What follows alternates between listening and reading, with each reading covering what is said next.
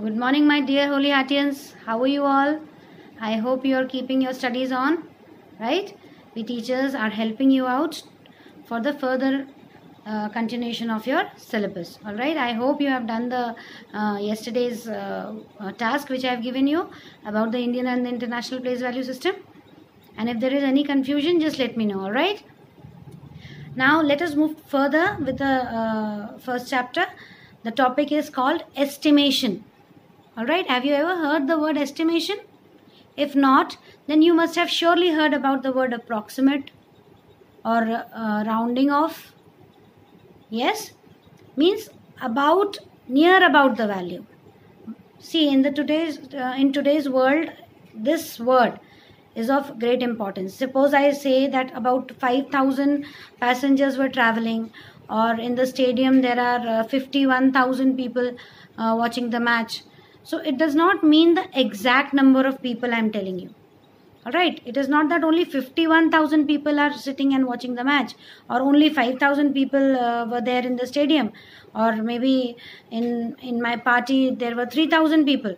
It is approximate value. It does not give you the exact value.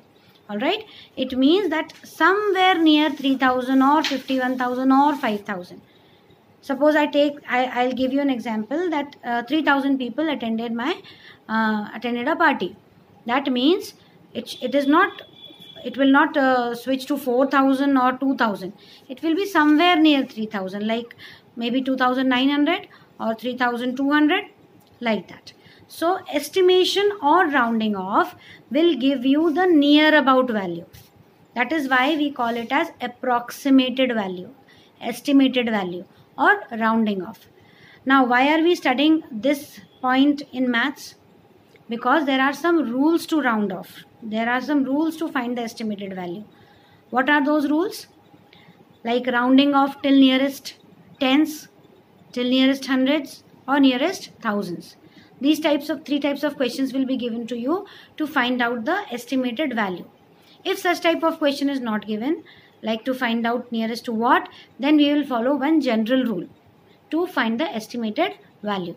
We are going to discuss about all these things so let us start with the first rule to find the estimated value um, of the given number to nearest tens. All right let me take one example like um, say i take 7 okay now you want to find out the nearest value uh, rounding of 7 to nearest tens so you will find where in which range of 10 7 is lying 7 is lying between 0 to 10. It is not going above 10. Alright. So if 7 is lying between 0 and 10, we will find the central value of 0 and 10. That is 5. Now we will see whether this 7 is in the range of 0 to 5 or more than 5. We see that 7 is more than 5. So it will be closer to 10. So nearest tens of 7 will be 10.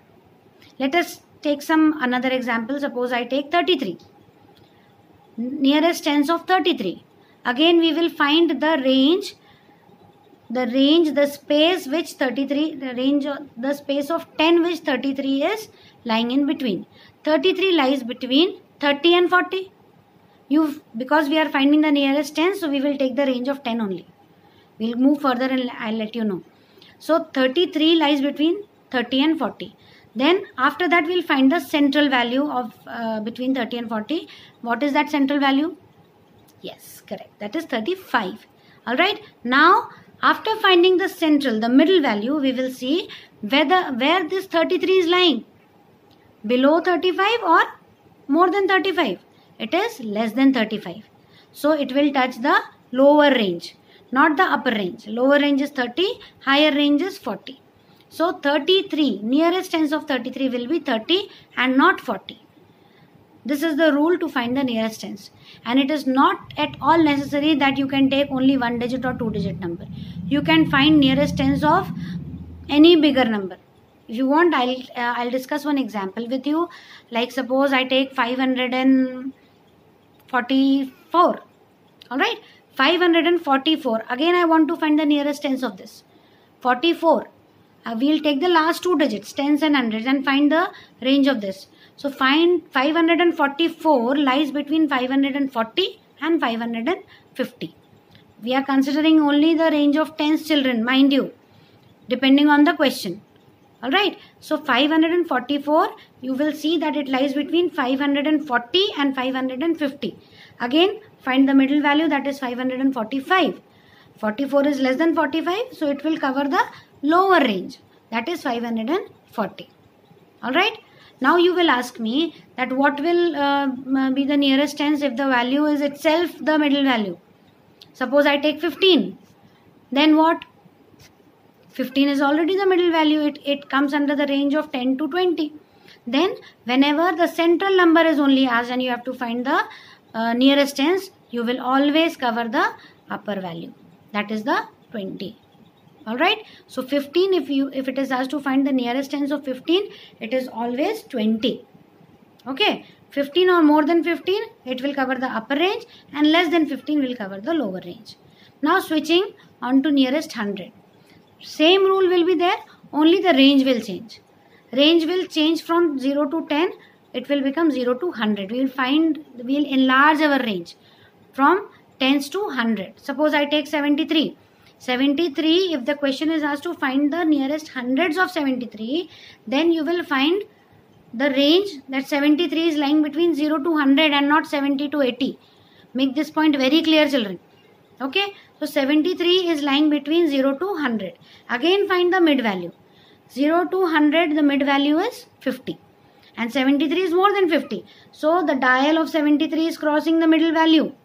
And it is touching the higher range. That is 100 so nearest 100 of 73 will be 100 okay? You just have to concentrate on the place values. If it is 100 we will find the range of hundreds. If it is 1000 we will find the range of thousands. Okay? Similarly if i want to find the range uh, nearest hundreds of 300 300 okay so 3 320 uh, so 320, 320 lies between the range of 300 to 400. 320 is more than 300 and less than 400. So we will make a bracket of it where 320 is lying. It is lying between 300 and 400. And it, the center value is 3, 350. Right?